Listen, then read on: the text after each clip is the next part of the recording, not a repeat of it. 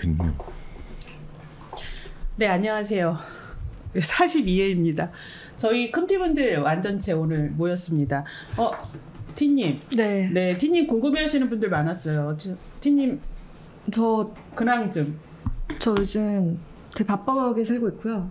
어, 그래서 되게 오랜만에 와이님도 뵙고, 네. 한 달 만이에요. 한 달. 네, 한 달. 한 진짜 달한 동안, 달 뭐-? 네, 한 달 동안 아, 얼굴을 네. 못 뵀어요. 그동안 그 TBS 사측하고 싸우시느라고 계속 좀 아, 네, 그렇습니다. 계시죠? 저희 대표가 네. 갑자기 구조정을 한다고 해서 네, 좀 싸우고 있습니다. 네. 자, TBS 좀- 무슨 일 있으셨습니까? 지금 대표가 좀, 음, 상식, 비상식적인 일들을 벌이고 있어서요. 일단, 저희가 조정쟁의를 신청을 했습니다. 왜냐면은, 어, 저희가 단협이 결렬이 됐어요. 단체 협약이 이제 노사 간에 이제까지 한 8차 정도 노사 협의회를 진행하고 있었는데, 어, 대표가, 어, 노 측의 사람들이 마음에 안 든다. 바꿔달라. 막 이렇게 요구를 하고, 음. 또 어, 사측의 보도본부장이 딱 한 명 빼놓고 나오지 않고 이런 식으로 되게 불성실하게 어, 노사 협의를 진행하는 바람에 저희가 결렬 선언을 했고요. 대표가 이제까지 했던 발언이나 여러 가지 사안들이 계속해서 어, 바뀌고 또 신뢰가 깨지면서 저희가 어, 더 이상 사측과는 대화할 수 없다. 음. 그래서 어, 서울지방노동위원회에 조정쟁의를 신청을 했고요. 음. 어, 대- 지금 2차 회의까지 했고 어제 또 갔다 왔습니다. 음. 지금 대표가 뭐 으름장을 좀 놓고 있는데 뭐 이런 얘기도 돌고 있더라고요. 만약에 자기가 최후의 수단으로는 전 직원을 해고할 수 있다. 지금 이런 상황이거든요. 그런 얘기를 어디 가서 했어요? 그게? 와. 네, 사장이? 사장이 이제 뭐 공식석상에서 하진 않았지만 네. 간부들 있는 자리에서 그 말을 했나 보더라고. 그래서 그게 소문이 쫙 퍼져가지고 좀 어이없는 사건들이 많이 일어나고 있습니다. 네. 근데 그분 직무대행 아니에요? 직무 대행이신데 어, 대행을 넘어서는 사주인 것 같습니다. 아니, 요즘에 사주. 보면 직무대행이 자기가 대표인 양 행세하고 네. 그다음에 방통위원장 직무대행이 위원장인 양 음, 행세하다가 탄핵받고 탄핵받으니까 도망가고 이러는데 이성구 씨죠? 네 이성구 네, 대표 대행이고 이성구 씨 사실 어, 이사회를 열, 열지를 않았어요 이제까지 한 번도. 근데 지금 대표를 견제할 수 있는 건 이사회거든요. 그래서 이사회 열어달라고 몇, 몇 차례 요구를 했음에도 불구하고 대표가 차담회를 열었어요. 지금 저희가 돈이 없기 때문에 이 사회 를 열 돈이 없다고 하면서 되게 비싼 한정식 집에서 오늘 만나서 얘기를 하더라고요. 그런데 거기서도 이제 제가 들은 얘기로는 좀 본인 말만 한 계속했다. 그리고 이사회를 열지 않으려고 한다. 네. 누구랑 비슷하네요. 본인 말만 계속하는 거는. 누구랑 비슷하죠? 어, 글, 어, 예? 맞네요. 누구랑 네. 비슷하죠? 네. 네. 진호이의 그 이성구 씨도 나왔어요? 1차에는 안 나오고요. 1차 그 거기에 있는 그 공익위원들이 네. 안 나오면 쳐들어간다 네. 해서 네, 어제는 나왔습니다. 음. 근데 어제 또 약속 있으시다고 한 어머. 1시간 정도 하고 나가셨어요. 어머 네. 어머. 그리고 어, 진호이도 무시하네. 어, 진호이도 무시하고 있습니다. 음. 그리고 또 한 가지는 서울시의회 문광희 홈페이지에 소관 기간이 나오거든요. TBS가 네. 빠져 있더라고요. 아니 아직 그 해지 안 됐잖아요. 그러니까요. 네. 그래서 저 출연 좀 기간 놀라가지고 안 됐잖아요. 네. 네. 그래서 와 진짜 뭐야 서울시 의회가 이제 TBS를 아예 그 소관 기관에서 뺐다는 음. 거를 알고 놀래서 문광 위원장이 이번에 민주당으로 바뀌었거든요. 그래서 위원장한테 직접 전화해서 이 사실 을 알고 있냐 했더니 음. 모르시더라고요. 네. 어머나. 이건 또 무슨 네, 해프닝이야. 그런 해프닝도 있었습니다. 어, 음. 그래서 다시 그러면 소관 기간으로 표시가 됐나요? 아직 안 됐어요. 아니 민주당은 무슨 뭐 하고 계시는 거예요? 그러니까요. 네. 답답한 노릇입니다. 네, 뒤숭숭한 TBS인데 우리 TBS 구성원 분들이 이 힘든 과정에서도 굳건하게 잘 버티시기를 네, 네. 바라겠습니다. 네, KBS도 또 세월호 관련해서 네네. 또 사건 사고가 있었죠. 있었어요. 어. 네, 지난주 그 목요일이었나? 금요일이었나? 그 방송사법 관련해서 필리버스터 중계를 하면서 중계차를 탔던 기자가 이제 노트북에 세월호 리본이 있었던 거예요. 근데 이제 그 한번 사진 보여주실 수 있을까요? 그래서 9시 뉴스를 할 때는 어 세월호 리본이 있는 게 이제 방송이 됐었죠. 그랬는데 그걸 보고 나서 정치부장이 야 저건 뭐야? 좀 하면서 이제 그 일종의 뭐라고 해야지 뭐 문제를 제기했죠. 왜 저게 저걸 붙이고 나갔냐라고 아, 했는데 예, 예. 네. 했는데 그래서 어떻게 됐냐면 저거를 이제 중간에 뭐 반장이 저 친구한테 전화를 해서 11시에 뉴스 때는 떼라 해가지고 11시 때는 떼고 나갔어요. 그럼 이제 사실 그렇게 하면은 뭐 그럴 수 있는데 네. 더 나아가서 9시에 VOD로 돼 있는 거를 모자이크 처리를 해야 된다. 네.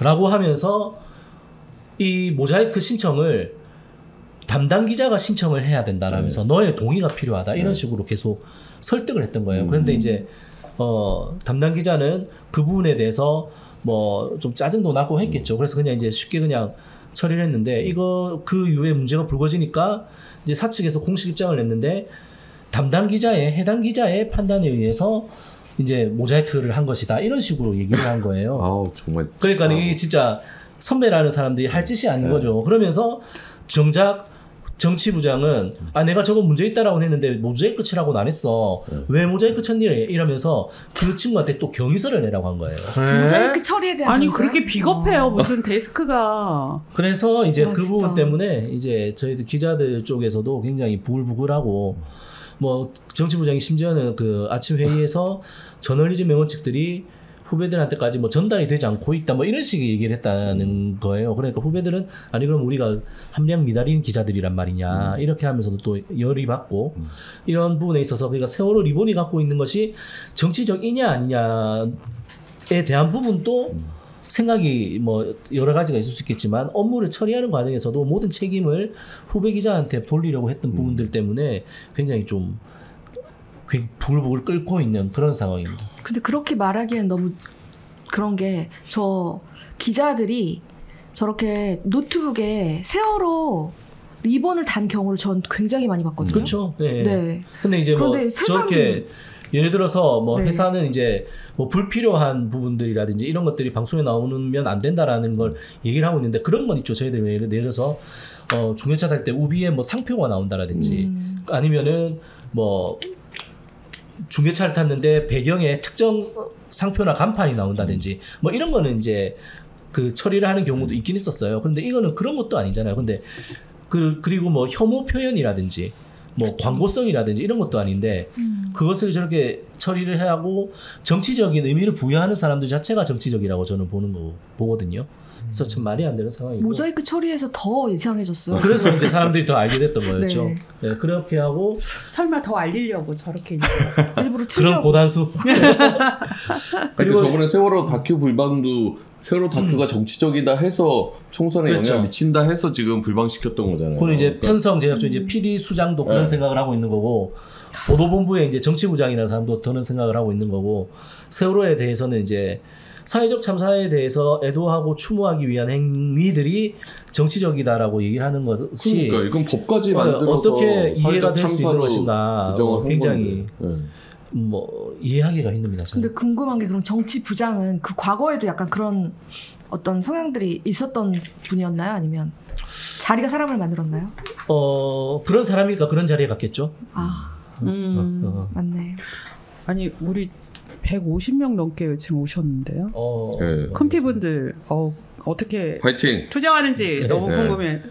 그리고 저희- 이제 저희는 이제 오늘 또 아침에 그 기적의 시작이라고 어. 이제 이승만 다큐 영화를 이제 제작을 하기 위해서 이제 종편 작업을 거쳐야 되는데 그거를 저희들 이제 오늘 바, 막기 위한 피켓팅을 아침에 좀 어. 했었고 아 지금 요즘 KBS 내부에서 그렇죠. 열심히 그 싸우고 혹시 계신데 동영상 한번 틀어주시겠어요? 그래서 아침에는 돌아오는 독재자미와 철회하라! 무정. 편성 본부장이 기적의 네. 시작이라는 거를 구매를 해서 틀어라라고 지시를 한 걸로 저분요 이름. 뭐예요? 김동윤. 김동윤. 예, 편성 본부장이고 또 적폐의 명단 오르셨네요. 저희들은 그래서 일단 공방이라든지 TV 편성위원회를 요구해놨는데 그것도 지금 무시하고 계속 진행을 하는 거예요. 그래서 오늘 제작하는 현장에 가서 좀 오! 반대를 했었고 이거 오늘이에요? 이거는 저번에 이제 예, 점심 때. 점심 아, 때? 이제 예, 또 오늘. 조직 개편 와. 반대 피켓팅도 계속 있었고요. 저도 오늘 뭐 오후에 또 이사회 열리기 전에도 이사회 열리는 이사들 앞에서도 이제 또 피켓팅을 좀 하고 어, 그렇게 하면서 본부장님 계속 좀. 있다. 예. 네. 여기 이제 이사회- 집에 가. 여기 앞에 저 지나가시는 분이 이제 저희 이사장이시고 누구예요? 서- 이사장 서기석 이사장이시고 아, 그- 좀 웃기는 게 저희 회사 KBS security 분들이 저렇게 아니- 요인 경호를 하는데 뭐 대여섯 명이 네. 저분을 근데 사실 경호하네요. 저분들은 저희 security 분들은 회사를 업무가 시설 방어예요 시설 그렇죠. 방어 그 요인 경호가 아닌데도 저런 것들을 하면서 아 이사장이 시설 아니에요? 이사장에 대해서 과잉 충성을 하는 거죠. 예. 아, 그래서 저희도 뭐 이렇게 좀 싸우고 있습니다. 어, 네. KBS 훌륭합니다. 어 KBS 저희 신관에서 본관에서 하신 거? 처음에 점심 피켓팅은 신관에서 했고 네. 이제 이사회 열리기 전에는 본관에서 했고 아주 KBS가 그래서 너무 열심히 하셔가지고 고단해서 병 나셨다고. 그러니까 좋죠. 독감 걸리 곧 독감에 저, 아니 저렇게 계속 구호를 외쳐가지고 목이 쉬, 쉬셨는 줄 알았더니 네.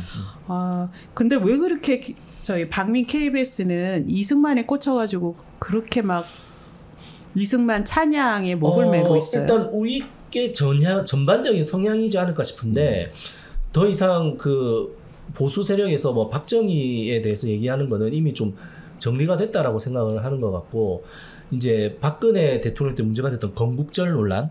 그래서 이제 광복절이 아니라 더 이상은 건국절로 가야 된다라고 하면서 건국절을 얘기를 하면서 어 과거에 있었던 항일 운동의 역사 이런 것들을 지워서 우리 사회에서 일고 있는 친일 논란 이런 것들을 아예 희석시키려고 하는 거 아닌가. 그래서 유- 전형적인 이제 흔히 얘기하는 뉴라이트 역사관을 방송을 통해서 알리고 싶어 하는 것 같아요. 음. 지금 어, 시청자분들이요 그 어, 댓글 읽는 기자를 하셨던 김기아 기자님 네네. 예, 예 어떻게 잘 계시냐고 잘 있습니다. 네. 예. 열심히 일하고 있습니다. 어, 어디 부서가 좀 자천됐나요? 아, 아니요. 그 원래 이제 하던 부서에서 프로그램이 바뀌어서 저희들이 이제 어 주말에 방송하는 이제 더 보다 라는 프로그램이 있는데 그 거기에서 지금 하고 있습니다. 네, 네, 네. 그리고 추정 60분은 또 무사한가요? 이렇게 심은정님이 또 물어주셨어요. 아직까지는 무사하고요. 그래서 이제 보셨던 것 중에 이제 조직 개편을 저희들이 반대를 하는 이유 중에 하나가 PD들이 만들던 추적 60분을 보도본부로 넘기겠다라고 하는 거거든요. 그래서 네. 이제 PD들이 만들던 시사 프로그램을 이제 빡빡한 데스킹을 보는 보도본부로 넘겨서 이제 프로그램에 대한 통제를 더 강화하겠다라고 저희들은 생각을 해서 조직 개편 같은 경우도 이제 그런 측면에서 저희들이 반대를 하는 거거든요. 네. 어, 이렇게 시청자분들이 KBS 상황에 대해서 궁금해 하시는, 하시는데 또 궁금한 거 있으시면 올려주세요. 저희 킴티분들이. 김건희님이 예. 윤석열 얼굴에도 모자이크 처리해서 뉴스를 해줬으면 좋겠다. 게 있네요. 모자이크 많이 해야 돼요. 그러면 화면이 다 뿌얘질 거예요. 왜냐면 지금 KBS가 박민 KBS가 윤석열 찬양 보도하느라고 음. 네, 윤석열 엄청 많이 나오고 있어가지고 네 다음은 YTN 예 네, 저희는 그 이진숙 씨도 청문회 과정에서 그 보도국장 임명동의제에 대한 부정적인 입장을 여러 차례 아주 밝혔잖아요. 강력하게 부정하더라고요 네. 인사권 침해라고 어, 그래서 일단 저희가 보도국장 임명 취소 가처분 1심에서는 졌지만 2심에 올라갔고요.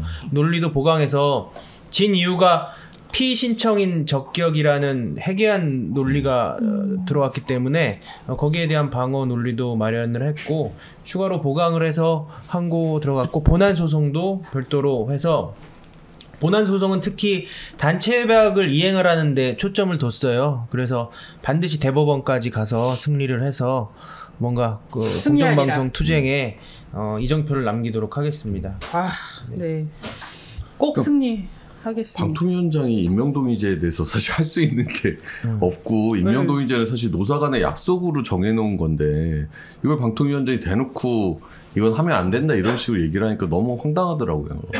아니 근데 저는 그런 의견을 그렇게 네. 얘기하는 것도 황당하지만 임명동의제에 대해서 이게 인사권 그 사측의 인사권을 침해한다라는 아주 반 인권적이고 반 노동적이고 시대착오적인 그러니까요. 얘기를 본인이 기자 출신이잖아요. 아니, 그리고 보면 그 YTN 매각할 때 심사위원회를 한번 거쳤고 그 다음에 자문위원회도 거쳤잖아요.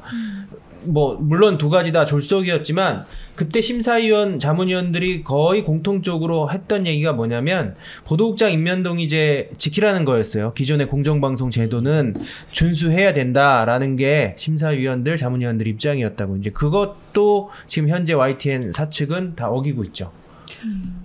그 이진숙 씨는 예전에 MBC에서 기자 시절에 이런 보도국장 임명동의제 이런 거 본인이 기자 시절에 반대하던 사람 아니잖아요. 그때도 계속 조합의 요구가 임명 동의제 뭐 중간 투표 이런 거였어요. 근데 네. 그게 계속 이제 뭔가 안 이루어지다가 저희가 2017년 12월부터 이제 경영진 바뀌고 나서 2018년에 이제 단체 협약을 새로 맺을 때 임명 동의제를 이제 단체 협약에 넣은 거죠. 그러니까, 그러니까 임명 동의제 같은 게 없으면 정말 공영방송사의 사장 한 명 바뀌면 이 사람이 인사권으로 다 보직부장 교체하면 여기에 저항할 수 있는 방법이 견제할 수 있는 수단이 없어요. 그러니까 임명동의제가 사실 가장 핵심적이고 가장 유일한 견제 수단이거든요.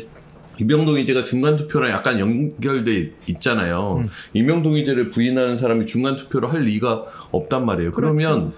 구성원들이 뭔가 위에 부당한 지시나 이런 것에 대해서 뭐 견제할 수 있는 거는 그냥 자기 마이크 놓고 쫓겨나는 거밖에 없는 거예요. 그러면 정권이 딱 공영방송 사장 한 사람만 딱 내리꽂으면 공영방송 색깔이 바뀌는 거 한순간이 돼버리거든요. 이렇게 하자는 거예요. 사실 이진숙이나 국민의힘은. 오늘 뭐 이호찬 본부장님이 기자회견에서도 말씀하셨는데 그 노동 3권은 헌법에 보장된 거거든요. 근데 헌법 어디를 뒤져봐도 경영권이나 인사권을 보장한다는 말은 없어요. 그런 거는 없는 개념이라고요. 헌법상으로는. 근데 우리 법원도 달리 생각해야 되는 게 그런 헌법에도 없는 경영권 인사권을 이유로 헌법이 보장하고 있는 노동 상권을 침해한 행위라고요. 이 여기에 대해서 법원이 사측의 손을 들어주면 안 되는 거죠. 네. 아, 푸다장님이 국회에서 김장겸 참교육 하신 장면 통쾌하게 잘 봤습니다. 네. 이거 M님, 네. 이번에 청문회 참고인으로 출석하셔가지고 김장겸님이, 어? 회사 있을 때하고 똑같네? 이 그 앞에 하여튼 무례하구만 이러고 회사 있을 때랑 똑같다고. 버렸다고 아, 그러지 않았어요? 무례하다. 아, 무례하다. 아, 그 저는 무례하지 똑같다는 게. 않습니다. 그리고 심지어 세 번째 날은 오정환 이제 전 보도본부장이죠. 지금 삼노조 비대위원장. 그 사람이 이제 세월호 차, 아니 최순실 국정농단 보도할 때 보도 책임자였어요. 그 사람을 불러놓고 이호찬 씨가 요즘 인사하냐고 자기 오정환 보도본부장 전 보도본부장한테 인사. 이진숙 청문회에서 제가 오정환한테 인사하냐 마냐를 왜 물어보는 거예요? 제가 김장겸 씨를 얼굴만 봤다가 청문회 때 말하는 걸 어. 봤거든요. 진짜 개저씨더라고요. 계절씨. 어, 요즘 유행하는 말 있잖아요. 아, 왕계절씨. 그 그냥 아니고. 위원장 되고 나서는 네. 선노조 분들이랑 보면 다 인사해요. 아니, 그러니까 그게 이제 오정환 심- 씨가 어, 요즘은 할 때도 있고 안 할 때도 있다 그러니까 김장겸이 약간 놀라갖고 아 자기 때는 안 했는데 요즘은 하냐고. 아, 그 자리에서 인사를 꼬박 해주지 그랬어요, 김장겸한테. 아니 그걸 왜 이진숙 인사청문회에서 왜 저를 물어봐? 인사라서. 이호찬 인사청문회도 아니고 인사를 인사를 따지고. 저는 인사 따지는 사람들 보면 다 네. 어 본인- 정말 오늘 없어서. 오늘 MBC에서 좀 통쾌한 뉴스를 가져오셨는데 네. 표적심이 방심이 통해서 표적심이 당한 거 지금 17전 17승 그러니까 지금 다 가처분을 냈는데 네. 법원이 다 인용했어요. 그러니까 얼마 전에 부당하다고. 이제 일기예보의 숫자 1, 파란색 숫자 1이 민주당 선거운동이라고 했던 그 건에 대해서도 이제 법원에 집행정지 신청을 했는데 법원이 수용을 해서 MBC에 대해서 방심이나 선방심의에서 이제 중징계가 나왔던 모든 사안을 다 법적으로 대응하고 그렇죠. 있는데 17건 중에 17건을 다 법원이 집행을 정지시킨 거예요. 아니 저 화면 보니까 이번 지금 파리 올림픽 하고 있잖아요. 네. 거기서 여자 양궁팀이 네. 단체전 네. 또 아, 10연승을 맞다. 기록을 봤어요. 했는데 네. 그 10자를 만들려고 아, 선수들이 일이랑 영이랑. 1과 네. 그다음 메달을 이렇게 네. 들었어요. 그, 다 그랬더니 이렇게? 네티즌들이 아, 선거운동이라고. 어 그리고 또 유니폼이 파란색이었어요. 아, 어 이거 왜 니네 국힘 이거는 왜 고발 안 하냐 이러면서 에, 하는 걸 보고 참 이게 어이없는 표적 심이었다 생각을 하는데 이렇게 17건을 해서 17건 다 가처분 됐으면 이른바 조종동이라는 큰 신문에서 이거 난리 나야 되거든요. 그러니까. 어떻게 이런 심의가 이 나라에서 벌어지고 있냐고. 근데 이런 거 보도를 안 하는 거예요. 정말 꼭 좀 보도를 좀 해주십시오. 네. 그 너무 당연한 솔직히 선거 그 판결인데 네. 이런 거에 또 좋아하고 그런 것도 참 이상한 것 같아요. 네. 그렇죠. 아, 컴티 분들이 지금 조사, 국회로부터 조사를 받고 있다. 이 얘기는 어떤 거죠? 이제 곧 20초 끝나는데요. 남았는데 네. 하여튼 저희가 이진숙 청문회 때 이진숙 씨 들어갈 때 그 앞에서 좀 항의를 했거든요. 그게 국회 뭐 내규 위반이다. 그리고 뭐 김장겸 이런 류의 의원들이 뭐 고발한다고 그래서 그게 뭐- 국, 국힘이 요구한 거죠? 그렇죠. 지금은 아. 이제 국회가 조사하는데 이후에는 뭐 경찰이나 검찰 조사 받을 수도 있죠. 네. 다음으로 넘어가겠습니다. 이미 10년 전 세월 관련 보도에서 확인되었습니다. 이진수 후보자가 MBC 보도본부장이다 2014년. MC가 내보낸 세월 관련 보도들은 자녀를 잃은 유가족에게 너무도 가혹했습니다. 이진숙 방통위원장 후보는 이태원 참사에 대해 MBC 등 좌파 언론이 이틀 전부터 헬로윈 축제를 예고하면서 더 많은 청년을 이태원으로 불러냈다. 좌파 시민단체, 좌파 언론의 개인은 대한민국을 기웃거리는 계획자들이 있었을 것이라는 음모론을 제기했습니다. 이런 이유부자의 인식을 보면서 이진숙 후보자가 절대 방통위원장이 되어서는 안 되는 시시가 말하는 한일 자유주의 동맹은 21세기판 야마토 동맹의 부활을 놓은 것 같습니다. 어, 이- 이진석 위원장은 지금 현재 선택을 할 것은 물론이거니와 어, 현재 발전된 여러 법인카드 이용 사실 관련돼 어, 문제가 사실을 밝힌다면 대한 법적 책임도 반드시 지어야 될 것으로 보여지고 있습니다. 방통위원장은 권력으로부터 국민들이 알 권리 그리고 자유롭게 공론의 장을 만들어서 여론을 형성해 나갈 그런 그 일을 하는 사람들을 지켜야 되는 있는 자리입니다. 하지만 그 사람은 오히려 노조를 탄압하고 노조를 정파적인 관점에서만 봄으로써 왜곡하고 아예 공공의 장으로서의 언론, 방송을 포기하는 것을 스스럼없이 밝히고 있습니다. 이미 국제적 상식이 되어 있는 일본군 성노예제 문제를 논쟁적 사안으로 여기고 침략 전쟁에 대해 반성도 사죄도 없는 일본을 동맹국이라 칭할 정도로 비천한 역사 인식을 가진 자가 방송통신위원장 후보자라니 그리고 오늘 임명되어 출근했다니 참으로 통탄합니다. 여당 공무는 다시는 이런 식의 인사를 계속 반복하는 일을 즉각 멈추기 바랍니다. 이진숙은 사퇴하라!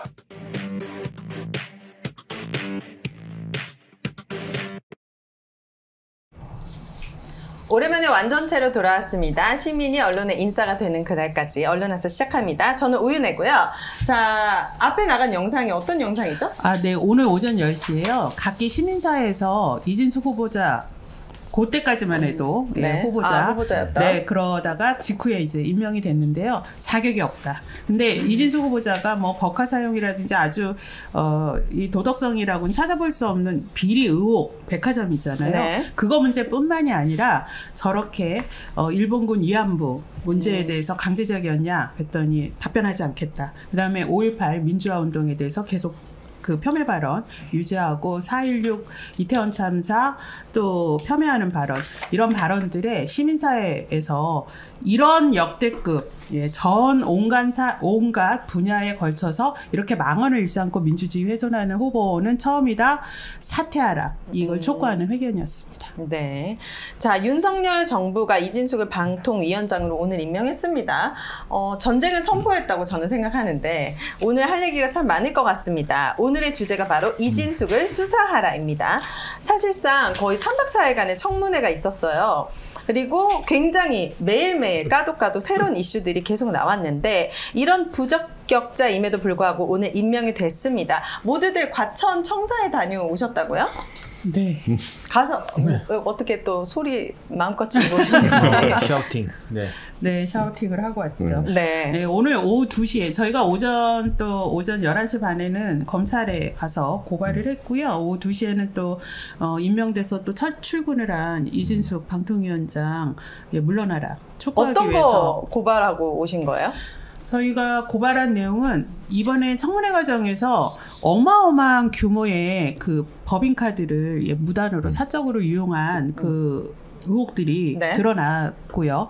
네, 그 다음에 뭐 관용차를 사적으로 이용한다든지, 음. 네, 이런 어, 문제들이 드러나서 이것은 업무상 배임이다. 네, 네. 그리고 이는 수사를 통해서 좀 명확하게 밝혀졌고 체- 사법적 책임을 물어야 된다라고 해서 음. 민원연 언론노조 등이 오늘 어, 서울지검에 고발장을 내고 검찰에 엄정한 수사를 좀 촉구를 했습니다. 어, 오늘 네. 신미처장님이 오전에는 여의도에 국회에서 기- 아까 시민사회단체 기자회견하고 네. 11시 반에는 중앙지검에서 저희랑 만나서 이진수 고발하고 네. 2시에는 과천 방통위 앞에 가서 바쁘셨군요. 이진수 네. 임명 규탄 같이 하고 네. 지금 와서 언론- 언론와서 가서 준비하고 저는 오늘 새벽부터 지금까지 이진숙과 함께하고 있습니다. 아 그래요. 네.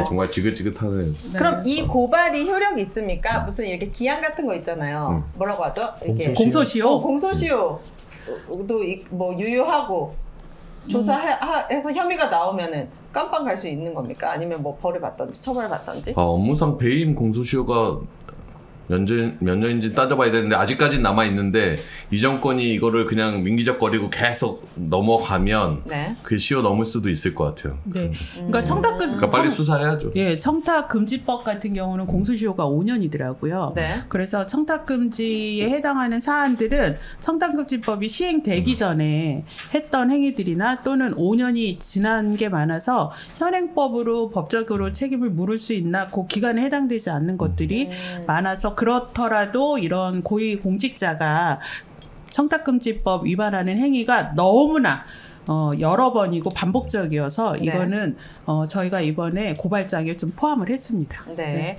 자, 이진숙 씨 임명 첫날부터 폭주하고 있습니다. 첫 번째 키워드는 최악의 방통위원장 역대급 폭주인데요. 사실 임명 자체도 파행과 폭주 자체인데 지금부터 오늘 하루 벌어진 이진숙 방통위원장 임명 취임식 비공개 첫 전체 회의 많은 걸 했네요, 이분이. 네. 공영방송 이사선임 등 네. 첫날 출근하자마자 네, 네. 아. 요 전에 오늘 또 저희가 과천청사에 갔는데 이 컴티님들 중에 또 명언의 연설, 명언을 아. 남긴 분이 있어요. 네네. 그 영상으로 한번 보시고 이것도 짚어보면 좋을 것 같아요. 좋습니다. 보고 네. 오세요. 역대 최악 부적격자 이준숙은 사퇴하라. 사퇴하라. 사퇴하라. 사퇴하라. 법화 유형 파렴치한 이준숙은 자격 없다. 자격 없다. 자격 없다. 자격 없다. 도대체 국민들을 무엇으로 보는 겁니까? 국민들의 목소리가 들리지 않으십니까? 저는 그래서 윤석열 대통령의 이진숙 임명 강행은 이 정권의 공개적인 독재 선언이다라고 생각합니다. 아무리 무도한 정권이라 해서 이러한 행위 하나하나를 당연한 것이라고 받아들이지 맙시다. 어차피 정권이 바뀌었으니까 공영방송은 넘어가는 것이다. 인정해주지 맙시다. 공영방송의 주인은 우리이고 국민입니다. 국민의 재산을 강탈하려 하는 자에게 반드시 그 책임을 물읍시다. 이진숙 씨는 종군 기자라는 알량한 명함 가지고 먹고 살아왔습니다. 그런데 윤석열 정권에 충복이 돼서 시키는 일은 뭐든지 할 기세를 보니 종군 기자가 아니라 종윤 기자, 권력을 쫓는 종권 기자입니다. 아무리 끔찍하고 징그러워도 눈 돌리지 말고 포기하지 말고 맞서 싸웁시다. 지배구조는 변했지만 YTN 기자들의 정신은 살아있습니다. YTN이 언제나 끝까지 함께 싸우겠습니다. 투쟁! 여기 계신 분들이 다들 투사로 계속 지나고 있는 생각이 들어서 아니 원래 기자인데 이분들의 네. 원래 직업은 기자인데 투사가 되고 있어요. 아니 빌런들도 계속 진화해서 지금 이 정부에 왔잖아요. 그러니까 그 맞서 싸우시려면은 계속 진화가 필요하고 아주 인상 깊은 장면이었습니다. 저는 궁금한 게 네. 어, 오윤혜님께서는 지금 이진숙의 임명에 대해서 어떻게 보시는지 시- 그러니까 일반 시민의 입장에서 좀 궁금해요.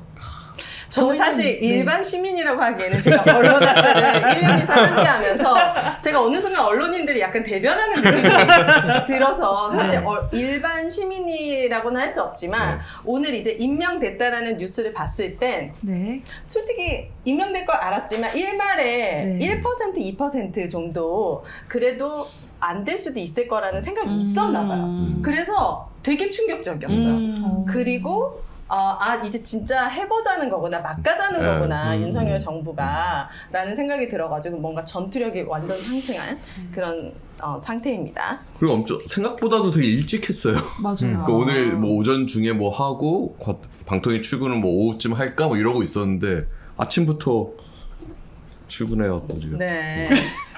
저는 그리고 이진숙 씨를 보면서 기생충이라는 영화 보면은 네. 제목이 기생충이 아시잖아요 왜 기생충인지 네. 기생해서 사는 거잖아요 이분은 법카의 기생해서 사신 네. 거예요 아. 진짜 법카충이다 법카의 오. 여왕 이런 말은 오히려 너무 안 어울리는 네. 것 같고 이분의 삶을 쭉 보니까 아 이, 이렇게도 사는 사람이 있구나라는 생각이 들어서 아 진짜 같은 사 같은 인간 세상에서 살기 좀 힘들었습니다. 윤혜님 어록인데요. 국가춤? 아니 아니 아니.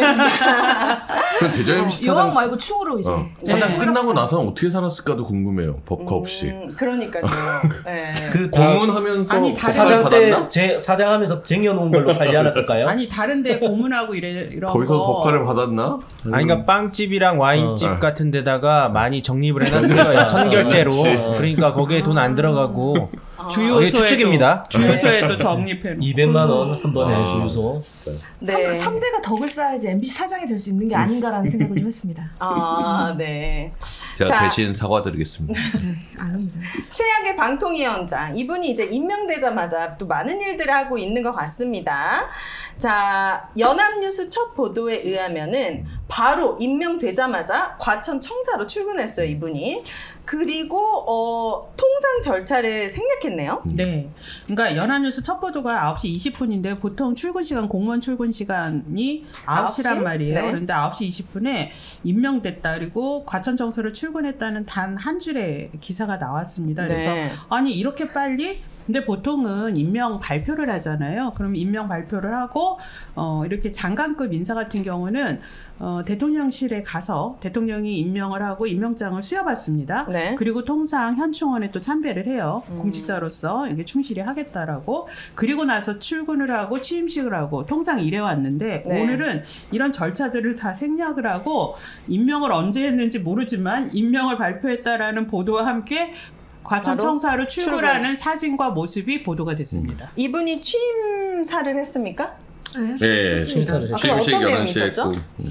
과거에 많이 들었던 내용이었던 것 같아요. 이동관한테도 들었고 아. 김홍일한테 들은 내용을 네. 거의 그대로 쌀로 밥 짓는 네. 얘기 또 했습니까? 쌀로 밥 아. 짓는 보니까 막 아니, 쌀로 사- 밥 짓는 얘기도 아니에요. 이 사람은 이런 얘기를 할 자격이 없는 사람인데 음, 네. 오늘도 무슨 고- 무슨 공영방송의 공정성, 공공성 음, 아, 이런 얘기 어떻게 이렇게 뻔뻔하게 할 수 있는지 모르겠어요. 그러니까 자기가 진짜 앞장서서 공정성을 탄압을 하고 네. MBC를 몰래 팔아먹으려고 했던 공공 자산을 팔아먹으려고 민영화하려고 했던 사람이 또 공영방송의 공공성을 얘기하니까 네. 방통위 직원들이 좀 불쌍한 것 같아요. 왜요? 계속 사장이 대표가 바뀌고 막 이러다 보니까 음. 네 좀 싫을 것 같아요. 자 보니까 이진숙 씨와 함께 김태규 이 사람도 임명됐나 보죠? 이 사람은 네. 어떤 사람이죠? 방통위원으로 임명된 김태규는 네. 우리 M님이 뒷조사를 좀 하시고 앞조사도 하시고 네. 알려주시죠.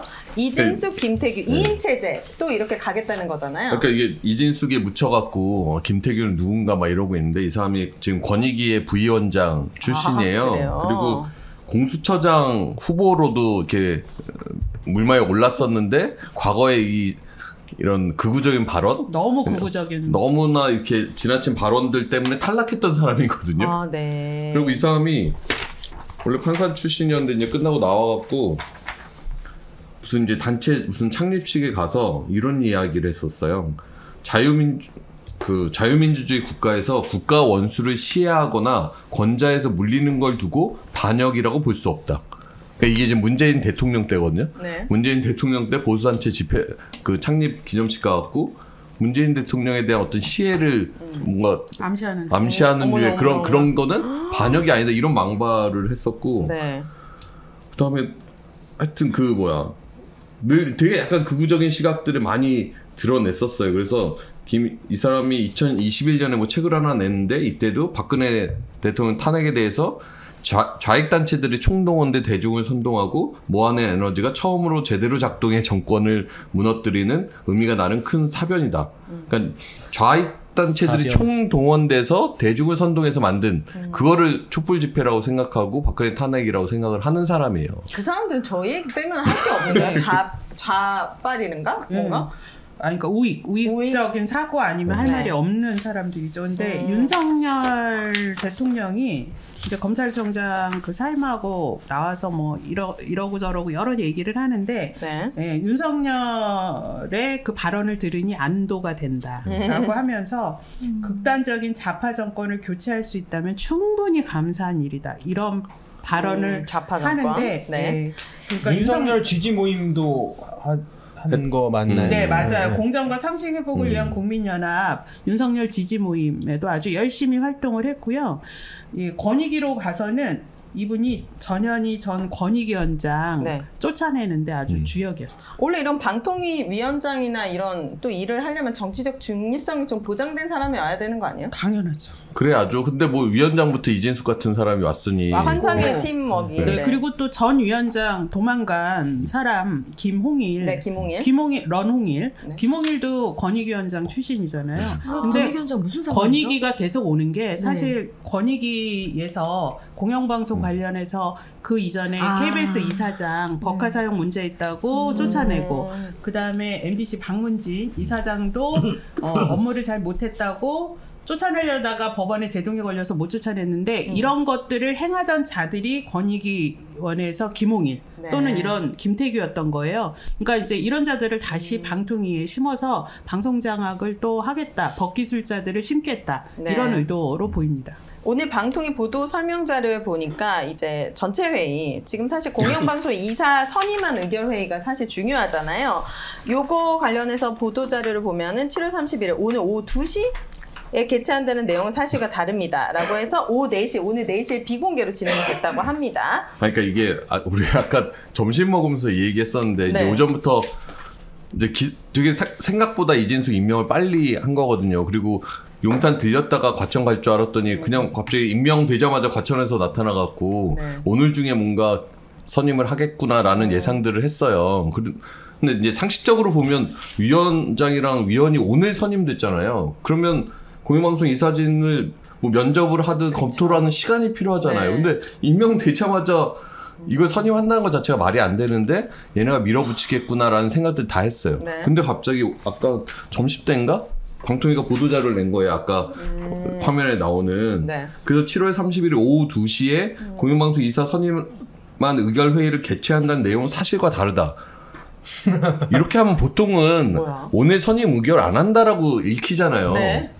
그리고 시간이 잘못됐으면 출입 기자들한테 알려주죠. 네. 야 이게 2시 아니고 네. 4시입니다. 네. 이렇게 알려주지. 이렇게 공식적으로 보도 자료를 내지는 않아요. 그러니까 숨겨서 하려다가 들키고 나니까 이거 아니고 어떻게든 이 국회 탄핵 상황이랑 맞물려 있잖아요. 그래서 작전하듯이 하려고 이렇게 하는 것 같아요. 어, 근데 결국 2시가 아니라 5시에 했어요. 회의를? 회의를 했어. 그러니까 이때도 할 생각이 있었던 건데 이 보도 자료는 이 선임한 의결 회의를 개최한다는 게 사실과 다른 게 아니라 오후 2시가 사실이 아니다라는 보도 자료를 그러니까 혼선을 주기 위한 세상에. 혼선을 주기 위한 거죠. 왜냐하면 밖에서는 또 저희 시민 언론 단체들이 가서 항의하고 있고 또 네. 뭔가 어 그 틈을 주면 또 야당에서도 뭔가 대응을 할 거고 이러니까 그 혼선을 주기 위해서 이렇게 유치하고 꼼수 작전을 편것 아니, 같아요. 어, 저는 어떻게 공무원들이 이런 짓을 하는지 모르겠어요. 방통위 공무원들이. 아니, 그, 그리고 좀 이상한 게 전체 회의를 그러니까 이사 선임을 위한 회의를 5시에 했잖아요. 네.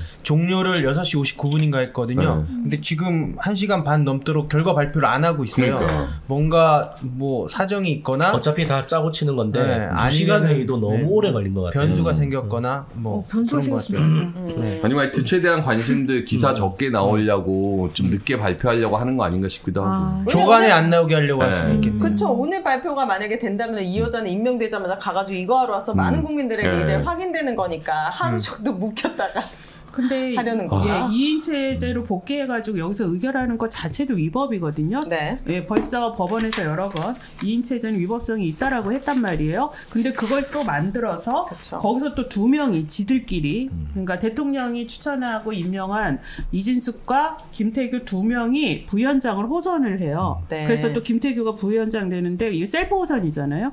결국은 이렇게 해가지고 또 공영방송 이사 선임 의결을 또 이렇게 기습으로 또 절차도 문제가 많습니다. 이게 보통 방통위는 그 규칙이 있어요. 회의 규칙에 이틀 전에 회의 공지를 해야 돼요. 네. 안건은 이러이러하고 일시 장소는 어떻다 이래야 되는데 지금 이틀도 아니고요. 한 시간 전에 공지한 거예요. 네. 그러니까 이틀 전에 위원들한테 통지하고 국민들한테도 하루 전에 홈페이지에 안건이랑 해서 올려야 돼요. 그게 회의 규칙에 있어요. 근데 예외 조항으로 긴급하거나 부득이한 사유가 있을 때의 예외 조항이 있는데 지금 박문지 이사지 임기는 8월 12일까지예요. 아직 열흘 넘게 남았잖아요. 그러니까 급하지 않아요. 긴급한 사유도 없고 부득이한 사유도 없어요. 근데 이걸 회의하기 전에 한 시간 전에 급히 공지하고 한 이후에 또 비공개로 두 명이서 회의를 하고 있는 거예요. 네, 회의도 공개가 원칙이거든요. 비공개로 할 때는 이렇게 부득이한 사유가 있어야 되는데 과연 부득이한 사유가 뭐냐 밝히지도 않아, 않은 상태에서 이거 국민들이 납득을 하겠어요? 이 공영방송 이사를 선임하는 자체를 왜 공개하지 못하는 건지 저 왜 그런지 알 것 같아요. 차곡차곡 하다 보면은 욕을 계속 먹잖아요. 그러니까 나쁜 일을 한꺼번에 쫙 해서 한꺼번에 욕을 먹고 지나가겠다. 그러니까 그러니까 이게 법이 있고 같습니다. 절차가 있잖아요. 이런 네. 거를 그냥 완전히 다 무시하고 그러니까 진행하니까. 다 위법이에요. 절차도 위법, 음. 과정도 위법. 그냥 법을 어기는 걸 밥 먹듯이 하시는 것 같아요. 자, 이 두 명은 무엇을 하려고 회의를 소집했는지 첫 전체 안건을 하나씩 확인해 보도록 하겠습니다. 아무래도 MBC 장악을 위해서 박문진 이사 교체가 이 사람들의 가장 큰 임무였을 것 같은데요. 비공개로 전체 회의 안건, 전체 회의가 시작이 되었고, 안건은 부위원장 호선, 위원 기피 신청, KBS 박문진 이사 후보 선정, KBS 박문진 이사 임명, 이렇게 이 주제로 아니 근데? 부위원장 호선이라고 돼 있는데 이 말 자체가 되게 모순적이에요. 호선이라는 거는 복수의 사람들 중에서 한 명을 뽑는 걸 호선이라고 하는데 네. 위원장 한 명 있고 또한 김태규 한 명 있잖아요. 근데 무슨 호선이에요? 이건 방통위법, 방통위 설치법 위반인 거죠. 네. 그 자체로. 이것도 비공개 회의도 두 사람이 하, 하고 있는 거예요? 이렇게? 그렇죠 두 사람이 한 거고 그래서 되게- 저희가 네. 저희가 아니라 이제 박문지 이사진들이 네. 아마 기피 신청을 냈어요 네. 이진수 후보자 공정한 음, 그 결정을 할 수 없다 자격이 없다 그리고 제가 알기로는 그 이제 이사를 지원했던 지원자들 있잖아요 네. 지원자들도 아, 이진숙 씨가 이렇게 MBC에 대해서 적대적인 감정을 갖고 있고 불공정한 인식을 갖고 있는데 이사 선임을 제대로 할 수 있겠냐 해서 이제 기피 신청을 냈단 말이에요. 근데 그거를 심의를 해야 되거든요. 그걸 또 깊이 당사자인 이진숙이 포함돼서 두 명이서 신청을 했고 아마 지금 회의가 이렇게 의결된 걸로 보면 네. 기피 신청도 아마 각하하고 그러니까 기피 신청 결정하려면 당사자 빠져야 되잖아요. 근데 당사자 빠지면 한 명밖에 안 남잖아요. 한 명은 결정을 할 수가 없으니까 그냥 이진숙이 자기에 대한 기피 신청은 자기가 스스로 셀프 각하 이렇게 시킨 거예요. 그러니까 법과 제도대로 제도대로만 하면 2인 방통위 체제에서는 기피 신청이 들어오면 의결 자체가 불가능해져요. 그렇죠. 그런 상황이 자연스러운 거고 네. 취지에 맞거든요. 근데 그런 거 다 무시하는 그때 거죠. YTN 불법 매각 예, 그것도 승인도 그런 식으로 기피. 신청에 맺힌 게 많아요. 네. 저이두 명이서 비공개 회의를 했는지 성심당 빵을 먹고 있었는지 저는 알 도리가 없습니다. 그리고 이 KBS 방문지 이사 후보 선정이랑 이사 임명도 네. 전 이상인 전 방통위원장 직무대행이 국회에 와서 위증했다라고 생각하는데 그 사람 그때 와서 뭐라고 했냐면 그때 김홍일 도망가고 1인 체제였단 말이에요. 그럼 이사진 선임 절차가 누가 결정을 해서 지금 이렇게 진행되는 거냐라고 했을 때 자기는 그냥 기술적인 것만 진행하고 있고 대체적인 결정은 김홍일이랑 둘이 결정할 때 다 했다. 그리고 그때 그럼 구체적인 내용이 뭐냐 물어보니까 과거의 선례대로 했을 뿐이다 이렇게 얘기했거든요. 과거의 선례는 후보자 선정이랑 임명을 별도의 회의에서 1차 회의, 2차 회의 나눠서 했어요. 네. 근데 지금 오늘 하루에 그냥 후보자 선정도 당일날 하고 네. 후보자 임명도 당일 한 거예요. 그러면 당사자들 면접도 없었어요. 그러니까 자기들 말로는 공영방송 이사진이 그렇게 중요하고 시급하다고 하면서 후보자 면접도 안 하고 지금 임명을 하는 거거든요. 네. 저는 두 명 회의할 거면 두 명 회의는 여러 사람들이 같이 보고 화면으로라도 봐야 된다고 생각합니다. 근데 비공개로 했잖아요. 네, 비공개로 하는 것 자체가 너무 어이가 없고 이게 실질적으로 사람들이 눈으로 보여지면 참 업처구니한 장면일 그쵸. 텐데 이게 그냥 기사로만 딱 지금 비공개 회의를 한다 라고 하면 뭔가 어, 가능한 얘기 같잖아요. 저는 너무 답답하네요. 자, 그러면 이진숙과 예, 김태규가 픽한 KBS 그리고 박문진 이사 몇몇 어떤 후보자들이 있는지도 궁금한데 이 선임 과정은 지금 어떤 상황입니까? 지금 어, 회의는 마쳤고 회- 예. 음, 이제 보도 자료를 만들고 있다 그러니까 이제 그 사람들을 선임을 한 사람들이 이제 발표를 할 거다라는 네. 수준으로 돼 있어요. 아직까지 발표는 안 됐고. 발표는 아직 안 누군지 됐어요. 예측되는 어떤 후보들이 있으십니까? 그동안 어, 그때 이제 공모했을 때 지원자들 이제 인적사항이 다 공개가 됐으니까 대략의 감은 오는데 네. 결과는 좀 봐야 될 것 같고 김재철이 있을까요? 김지철 지원 안 했죠. 지원 안 아, 했죠. 지원 안 아, 했어요. 네. 거기 지금 한달 동안 아. 아, 근데 이제. 지금 출입 기자들 김재철 사이에서? 흘러나오는 얘기는 네. 원래 우리가 이제 방송법은 물론 이제 방문주도 그렇지만은 이제 뭐 정치적 후견주의라고 해서 이사들 중에 그 관례적으로 여당목, 야당목이 있었지만 그게 어떠한 근거도 있는 게 아니거든요. 그래서 이제 KBS는 11명 중에 여당목 7, 야당목 4명, 박문진은 9명 중에 여당목 6명, 야당목 3명인데 그럼 이걸 어떻게 방통위에서 사람을 선임할 거냐에 대한 부분도 네. 관심이 많았는데 흘러나오는 얘기에 따르면 여당목만 인, 임명을 할 거다라는 얘기가 들리는 거예요. 음. 그러니까 KBS는 11명 중에 7명, 네. 박문진은 9명 중에 6명만 네. 임명할 것 같다라는 얘기가 나오는데 이것도 이제 그야말로 이제 하나의 코미디죠. 어떠한 법적 근거도 없는데 방통위 자체가 스스로 이제 정치적 후견주의를 정치적 후견주의가 작동한다라는 거를 인정하는 거거든요. 음.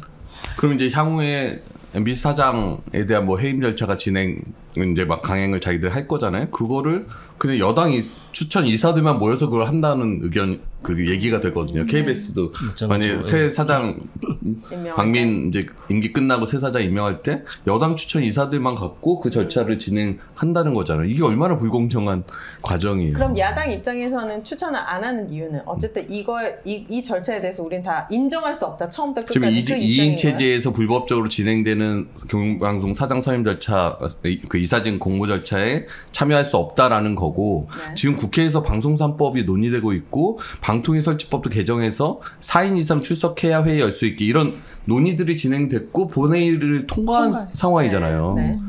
그러니까 지금 중요한 결정들이 국회에서 이루어지고 있는 마당에 방통위는 그냥 속도 내서 먼저 진행해 버리겠다는 거거든요. 네. 그걸 이제 멈춰 세우고 이제 논의를 하자고 하는 건데 그냥 일단 장악한 다음에 그때 논의하자 이렇게 지금 하려고 속도전을 하는 거라서 이제 네. 민주당은 응하지 않고 있는 거죠.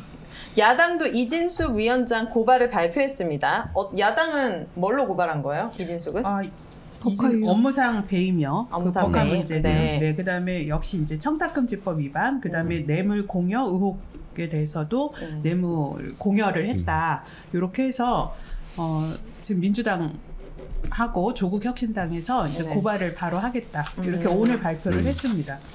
근데 MBC가 네. 어쨌든 이진숙이 MBC 대전 사장이었잖아요. 네네. 그리고 그 당시에 이렇게 법화충을 활약했던 거잖아요. 근데 솔직히 상식적으로 네네. 퇴직금도 받았죠. 퇴직금 거액 받았죠. 받았죠. 거액 받았죠. 네. 원래 주총에서 해임하면 퇴직금 못 받는데 네. 해임 그렇게 버티다가 그 이사회하기 사흘 전인가 나흘 전에 사표 던져서 퇴직금도 1억 얼마인가 챙겨갔죠. 그것도 꼼수 사태네요. 그렇죠. 꼼수. 정말 꼼수에 꼼수에 꼼수. 꼼수. 아니 이 모든 아, 것들이 임대기 전에 네. 사표를 던졌다. 네. 이 모든 것들이 그러니까 조직 사회 시스템을 파괴한 인물인데 네. 무단 결석해서 뭐 해외여행 가고 출장 출장 어디죠? 뭐 어디 갔다고 했는데 제주도. 거기서도 계속 어, 네. 법카 제뭐 쓰고 출장 기록이 없는데 제주도에서 법카 쓰고. MBC에서 되게 의지만 있었으면 이 네. 사람은 다시는 이런 자리에 못한 그게 할 만한 충분한 증거들이 있는데 네. 너무 온정주의 아니냐. 너무 약간 이런 비판도 있습니다. 근데 이진숙이 대전 사장을 할 때는 적폐 경영진 이- 시절이었던 거예요. 이명박 박근혜 이제 박근혜 정권 말기에 이제 대전 사장을 했던 거고 그때 본사 사장이 안광한 뭐 김자, 김장겸 이런 사람들이 사장할 때 네. 대전 MBC 사장을 한 거니까 맘대로 쓴 거고 그것에 대해서 이제 사장이 바뀐 이후에 지역사나 이런 경영진들에 대한 법화 사용에 대해서 대대적인 감사를 벌였는데 그때는 이미 이진숙이 사표 내고 퇴직금 챙겨서 도망간 상태였거든요. 그래서 아마 본사 감사실에서 계속 연락하고 이제 내용 증명 보내고 이랬는데 이제 수령을 안 해버린 거예요. 그러니까 문자도 그냥 씹고 전화도 안 받고 집에 내용 증명 온 것도 자기는 안 받고 그 계속 피해 다닌 거죠. 그러니까 이제 그래도 고발은 할 수 있지 않아요? 고발했었어야 돼요. 그건 제가 음. 사과드릴게요. 어, 또 사과 많이 하시네요. 그러니까 그렇게 좀 진행했었으면 법적 처벌을 더 받았을 텐데 네. 하도 그때 적폐 경영진들이 많이 있었고 안에서도 그래서 실제 그 방송문화진흥에 이사 지- 지원했던 그 김성근이라는 본부장은 그때 감사해갖고 5천만 원 토해낸 거거든요. 맞아요. 그 내부적으로도 그때 그러니까. 법과 부정 사용에 대해서 대대적 감사해 버렸단 말이에요. 근데 그렇다면서요. 이미 퇴직한 사람이니까 거기까지 뭔가 더 적극적으로 나서지를 못했던 거죠. 근데 그 5천만 원 토해낸 분이 지금 요번에 지원을 해서 지금 방문 대- 지원해요. 뭐. 이사를 또 지원을 지원했어요. 했는데 이사로 선임될 가능성이 높죠. 높다고 지금 언급이 되고 있어요. 그러니까 아, 5천만 도대체 법, 법을 뭐 어떻게 보고 하는 법과 질서, 뭐 헌법 뭐 이런 거는 이 사람들 안중에 없는 거예요. 국민들이 생각할 때 네. 이제 MBC 본사도 아니고 지역 MBC의 그 사장이 보니까 6억 정도를 법카로 긁었더라고요. 와, 몇년 동안요? 아니요, 그거는 본사 있을 때 하고 네. 다 합쳐서, 합쳐서 합쳐서. 8년간 음. 사용한 금액이 6, 6억이에요. 와. 그러면 그 중에 MBC 이제 사장으로 있었을 때 대전 MBC 한 사장 2억 정도 되는 건가요? 시절에요? 네. 그거 1억 얼마 정도였던 것 네, 같은데 1억 그 정확한 얼마예요. 숫자는 네. 네. 그 전에 김재철 사장 때 네. 2년 동안 법카 7억 써갖고 난리가 났 누가요? 김재철. 김재철이요? 그러면은 그래서 호텔 나중에 업무상 뭐, 배임, 네. 배임으로 다른 처벌받았어요. 사장이랑 비교해 봤을 때더 과한 거죠. 더 과한 거죠. 그렇게까지 못 쓰죠. 정상적인 아, 사장이. 왜냐면 대전이 물가 그렇게 비싸지가 않거든요. 아니 그리고요 네. 서울 서울에서 많이 서울 서울에서. 많이 거잖아요. 정말 대전 MBC가 네. 이게 이제 아 되게 직원이 많을 거다 이러는데 정규직 직원 기준으로 50여 명 정도예요 정규직이. 그러니까 지역 MBC 조직이 그렇게 규모가 크지 않아요. 네. 근데 거기 사장이라고 이렇게 버카를 어마어마한 규모로 쓰고 지금 이게 어 6억인데 8억 동안 이 중에 부정한 사용 또 부적절한 사용으로 추정되는 금액이 지금 3억에서 4억 정도 이렇게 되거든요. 그러니까 절반 이상이 지금 이게 유용했다 이런 의혹을 받고 있는데 문제는 그렇게 초과해서 사용하거나 네. 의심받는 거에 증빙을 하나도 제출하지 않고 증빙자를 제출하지 말로만 않고 증빙하잖아요. 그러니까요. 단 1만 원도 음. 어, 자기는 쓴, 개인적으로 어, 쓴 적이 없다. 이런 얘기만 하는데 뭐 어디 가 저기 성심당에서 빤상자 없다 이랬는데 성심당이 딱 나왔잖아요. 그러니까 그건 자기가 실무자한테 자기 카드 내역 사용 확인하라 했는데 실무자가 자, 잘못한 것 같고 그건 사과 그거는 교, 뭐 수정하겠다. 뭐 이런 식으로 비켜가고 있죠. 어쨌든 청문회는 하길 잘한 것 같습니다. 굉장히 많은 국민들이 네. 이진숙이 저도 이진숙 이름을 처음 들어봤는데 네. 청문회를 통해서 아 진짜 정말 법가충이 세- 태어났다 이렇게 새로운 사실을 알게 됐는데 더 이상 불법은 되지 않는다 이진숙을 고발한다 세 번째 주제로 넘어갑니다.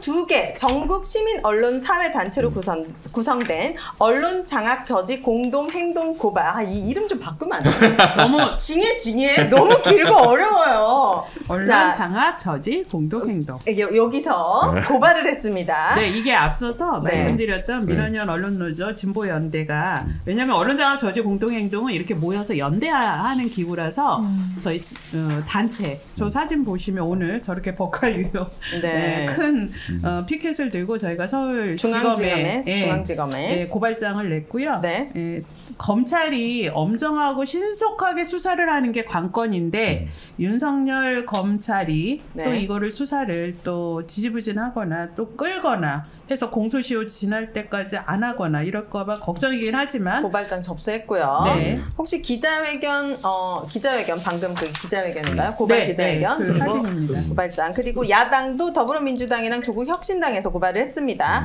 2000년 인사청문회 도입 후 최악의 장관급 인사다. 업무상 배임, 청탁 금지법 위반, 뇌물 공여 의혹 등으로 고발을 했습니다. 야당은 오히려 감사한다라고 했습니다. 이유가 보니까 이진숙 방통위원장 공영 방송 이사 의결 시 국회법 절차에 따라 탄핵을 추진하겠다고 했는데 이진숙은 자진 사퇴 안 한다고 했어요? 그러니까 이제 아직 본인이 것이- 본인이 본인이 그렇게 얘기하지 않았는데 주변의 네. 관측이 그런 얘기가 나오고 국민의힘 쪽에서도 이번엔 탄핵 심판의 결과를 한번 보겠다라는 얘기들이 나오고 있어요. 그래서 야당에서 오히려 그렇게 자진 사퇴, 꼼수 사퇴 안 하면 고맙다. 왜냐하면 그 어, 과정에 밝혀졌어요? 이진숙의 과거 행적이 네. 예, 드러나고 밝혀질 것이다. 그러니까 한번 따져보자. 네. 아 명단이 나왔나요? 네, 명단이 나왔어요. 어 네. 나왔어요? 뭐예요? 속보가 속보입니다. 여러분. 아, 언론 아싸 많은 분들이 보고 계시진 않 지만 처음으로 속보를 전해드리는 이런 유의미한. 어 지금 연합통신보다 빠른데요. 아. 제가 올려드릴게요. 지금 두, 네. 분- 두 회사의 운명이 지금 그러니까 KBS와 MBC 두 회사 여기에 결정됐습니다. 다른데 오늘 그 뭐야 여러분. 방문진 이사진 지금 그게 나왔다는 거죠? 그죠? 오늘 K- 회의 결과 KBS 이사, 박문진 이사. KBS부터 말씀을 해주시죠. KBS?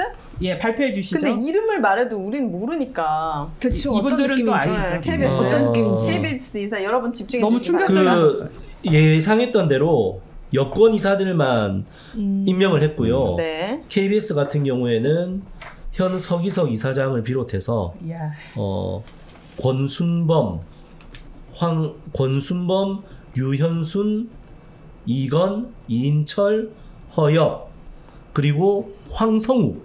다 모르는 사람이야. 황, 황 성욱 그 방심위 황성욱에서 위원 표적 심의 했던 예. 방심위원 중에 이 하나예요. 됐고요. 네. 어, 그 MBC는 MBC 제가 말씀드리면 네. 김동률 현 서강대 교수, 그다음에 손정미 TV조선 시청자위원회 위원. 윤길용, 하여튼 윤길용, 이우용, 임무영, 허입범. 근데 이 사람들 보면 김동률 씨는 제가 한번 다시 챙겨봐야 돼 예상치 못했던 좀 인물인데 네. 손정미란 저 분은. 예, 조선일보 출신 기자, 조선일보 기자 출신이에요. 그래서 조선일보 출신이 지원을 했길래 뭔가 또 얘기를 듣고 지원한 거 아닌가라고 싶었고 네. 이 윤길용은 윤길용.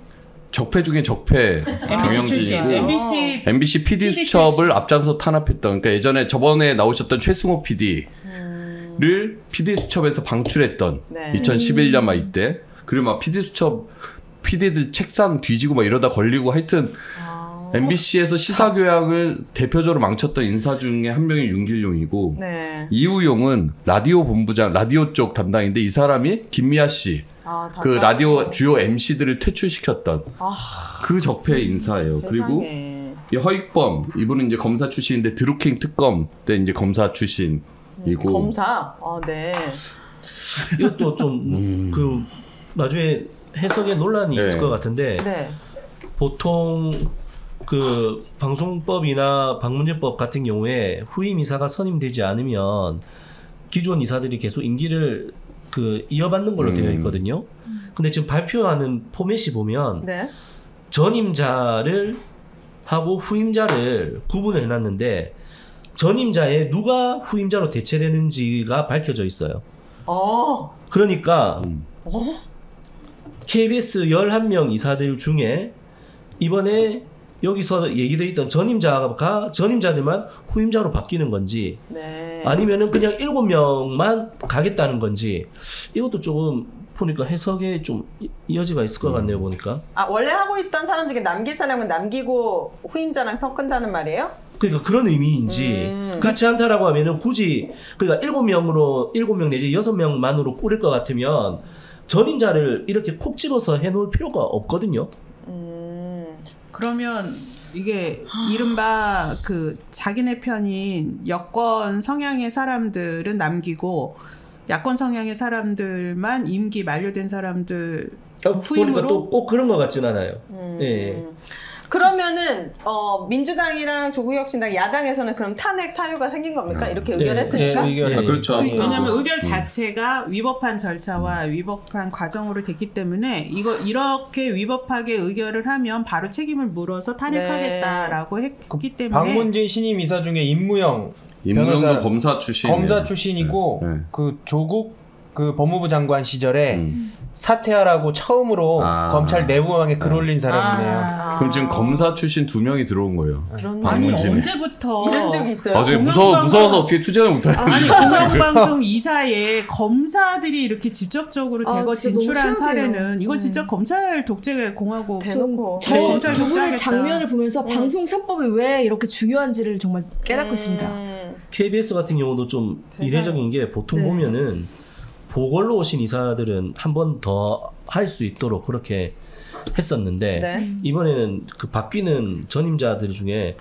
보궐로 온 사람들 중에서 살아남은 거는 서기석 이사장밖에 없고 음. 굉장히 이례적으로 권순범 이사 같은 경우에는 이번 지금 이사진 시작할 때부터 계속 임기를 처음부터 했던 분인데 이분은 다시 됐어요. 음. 말을 잘 듣나 보네.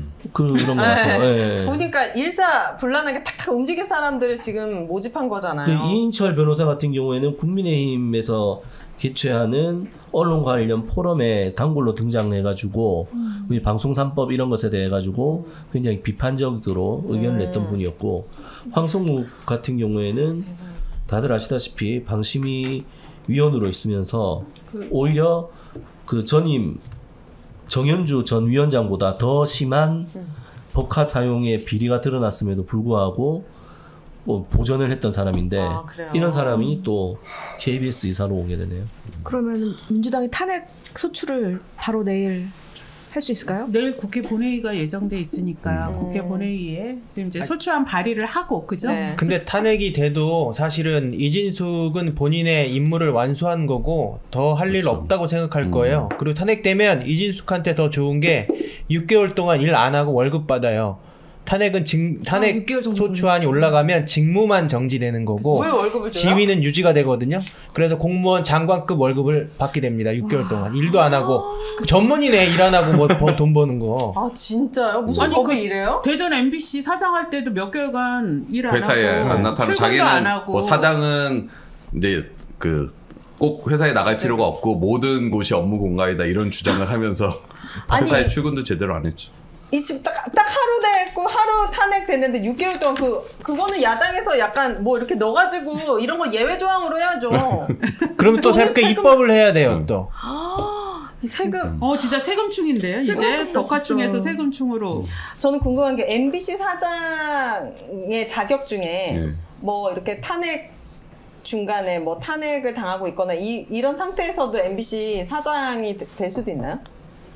아 이진숙 씨가 네. 사장 될까봐? 아니 만약에 이진숙 아, 근데 씨가 이진숙 씨는 아마 저희 이제 당적 보유 조항이 있어서 3년 동안 당적이 있었으면 이제 사장을 할 수가 없어요. 당정이 있었어요? 근데 이진숙 씨가 지금 국민의힘- 출마했었잖아요. 계속 대구시장도 출마했다가 네. 떨어지고 뭐 지방선거에도 나갔다 경선에서 떨어지고 했기 때문에 아마 국힘 당적을 3년 사이에 보유하고 있었을 거예요. 그래서 아마 그래요? 이진숙 씨가 MBC 사장의 자격은 안 될 걸로 보여져요.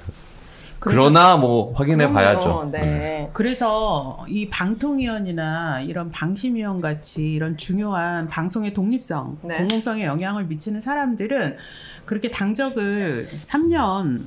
이내에 가졌으면 아예 후보 자격을 주지 않게 그렇게 엄격히 제한을 해야 돼요. 지금은 자기가 당적을 갖고 있어도 오늘 내가 탈퇴하면 내일 방통위원 후보로 추천되고 임명될 수 있는 이런 사각지대가 있어요. 그래서 네. 정치인들이 저렇게 와서 방통을 정치화하는 네. 지금 구조가 지금 그 나- 나온 게 아직 방통에서 발표한 건 아니래요. 음. 그냥 뭐 국회나 발로 이제 돌고 있는 것 같아서 네. 공식 발표 자료인지를 한번 다시 확인해 볼 필요는 있을 될것것 같습니다. 같습니다.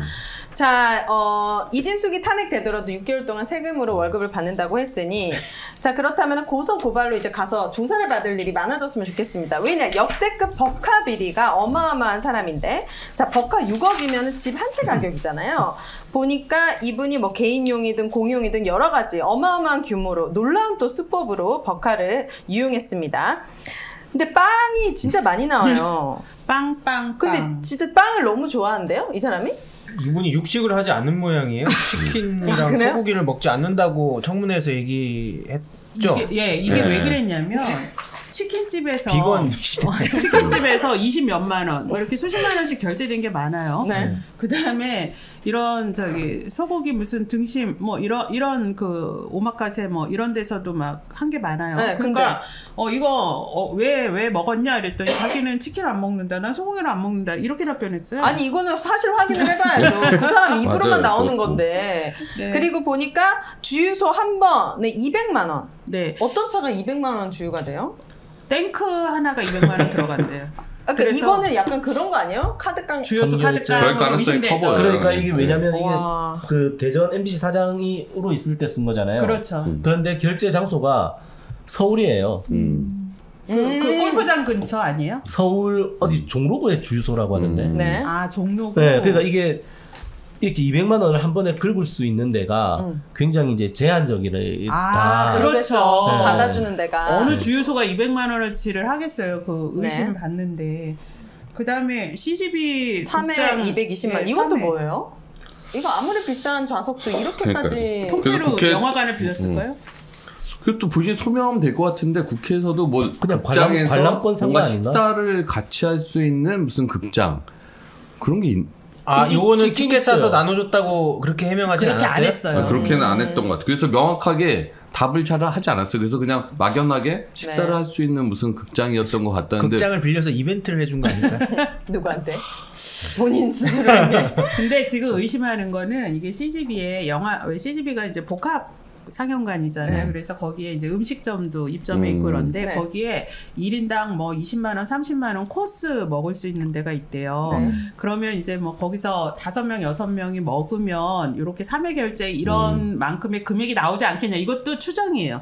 그러니까 이걸 왜 우리가 추정을 하고 있냐? 본인이 밝히면 되잖아요. 본인이 증빙을 하면 네, 되는데. 거부를 하니까 개인 정보라는 이유로 거부를 하고 있죠. 이, 이진숙 씨가 대학원을 엄청 많이 다녔단 말이에요. 서강대. 네. 그 대전 MBC 사장하면서도 대학원을 두 개를 다녔어요. 아, 그, 왜 두 개나 다녀요? 아, 언론정보대학원은 되게 한 달씩 무슨 전공 관련 대학원인가? 대학원. 네. 근데 이번에 또 마지막에 나온 게 자기는 뭐 다 업무상이라고 맨날 주장하는데 네. 서강대 갈 때 관용차 타고 간 게 업무용 차를 타고 간 게 확인이 됐죠. 그리고 빵도 서강대 근처에서 많이 사 먹었어요. 어. 그리고 저번에도 얘기했는데 이게 주의 있게 봐야 될 음. 게 서강대 다녀서 학위를 취득했다는 사실을 인사청문회에 네, 안 보고하지 밝혔잖아요. 않았어요. 네. 학력 위조는 들어봤어도 학력 은폐한 거예요. 그러니까 학력을 그렇죠, 왜 은폐했냐? 어, 왜 은폐했냐? 사장 시절에 그렇게 법인카드. 썼으니까 그 자, 주위에서. 자 녀가 네. 서강대 지, 서강대에 또 네, 뭐 그랬던 것 어, 같아요. 다녔는데 네. 자녀 입시 관련한 자료를 또 일체 내지 않았어요. 음. 그래서 이게 또 어떤 연관이 있냐라는 거를 또 지금 아직 못 밝혀냈고요.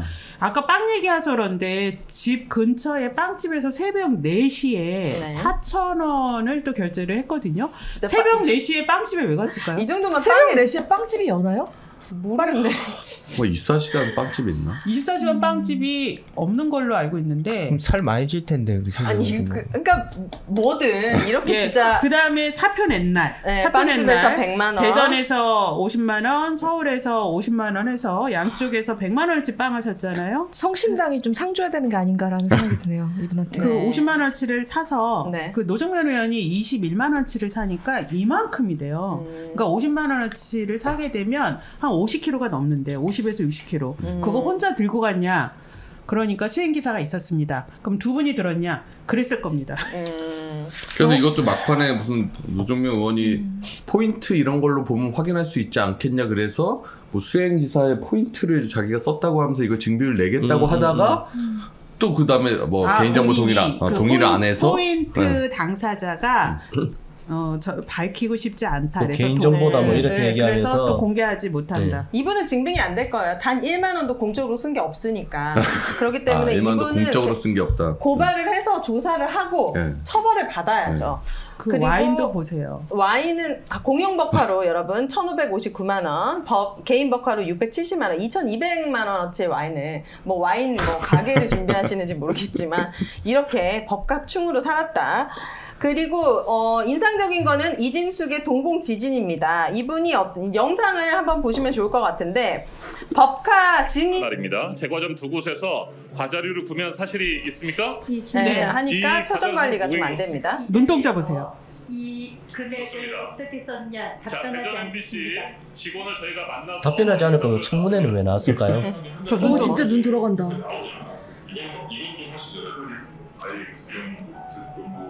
얼마나 당황스러웠겠어요. 증인이 나타났거든. 다른 사람이 있을 거 아니야. 출근하는데 업체에 있었다는 거는 그쵸 아니야. 그죠? 이번에는 계속 해명 그 논리를 남겨내고 굉장히 미치겠어. 그런 식으로 반박을 했었구나. 부끄러움을 모르나? 윤석열 대통령이 저 두 분은 MBC에서 선후배로 음, 같이. 근무했고 정동영 의원이 기자 시절에 정말 사랑하고 아꼈던 후배다. 누가요? 그러니까 이진숙이? 저- 예, 이진숙 이진숙을? 이제 기자 시절에 아. 열심히 하는 기자여서 그런데 왜 이렇게 변했냐? 음. 어, 왜 이렇게 변절됐냐? 특정 발언에 대해서 발언하는 것 그리고 5.18 민주화 운동에 대해서 입장 밝히지 않겠다 그러니까 저렇게 묻고 있어요. 제약되었다고 이야기한 적이 한 번도 없습니다. 자 후보자는 언론의 자유가 무엇이라고 생각합니까? 됐습니다. 자유는 또 눈동자. 이진숙이 방통위원장이 되는 것은 나라의 비극입니다. 불행이 될 것입니다. 한국의 괴벨스를 우리는 앞으로 보게 될 것입니다. 저렇게 얘기하니까요. 20초간 말을 안 하고 음. 저렇게 노려봅니다. 양심이 찔려서 그런 건지 아니면 어, 자기를 공격하는 선배이자 정동영 의원에 기싸움하는 대한 것 같아요, 네. 두 분이. 네, 와, 하는 진짜. 건지 저 20초를 보십시오. 자기가 아. 못 견디고 먼저 말을 꺼냈죠. 저는 오히려 개벨스라는 용어를 저에 대해서 쓰신 부분에 대해서 김우영 정말 의원님? 유감스럽습니다. 음, 사실 이 국회 청문회라는 것이 이 영상이 대대손손 남고 가족, 자식, 친척, 뭐 남편의 친구든 지인들이 엄청나게 많이 볼 텐데 이렇게 전 국민에게 수모와 부끄러움 그런 걸 느끼게 하면서까지도 이 청문회에 나왔다는 것 자체가 저는 이진숙이 뭔가 뭔가 큰 대가가 있을 거라는 생각을 의심을 안 할 수가 없거든요. 와인님께서 늘 하시는 말씀 있잖아요. 수호지심이라고. 수호지심이 없는 사람들은 들이 그 주로 저런 자리에 올 수 있는 것 같아요.